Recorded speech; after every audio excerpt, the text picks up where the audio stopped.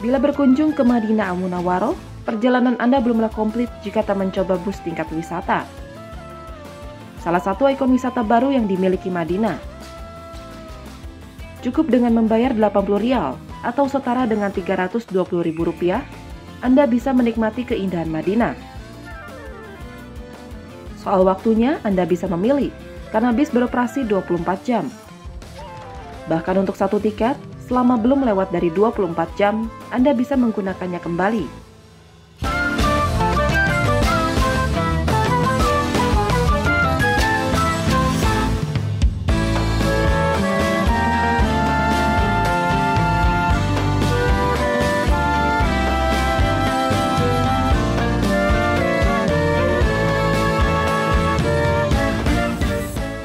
Bus akan berkeliling ke ikon wisata Madinah, termasuk tempat-tempat bersejarah yang menjadi saksi perjuangan Rasulullah Shallallahu Alaihi Wasallam. Bus tingkat ini beroperasi mulai pukul 6 pagi. Dengan sistem yang bisa turun di halte mana saja, Anda kemudian dapat naik kembali dan melanjutkan perjalanan. Jarak antar bus lebih kurang 30 menit.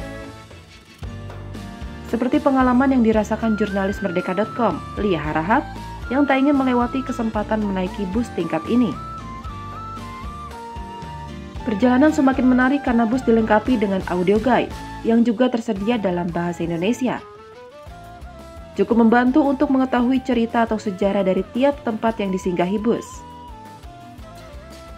Tak terasa sudah dua jam berkeliling kota Madinah.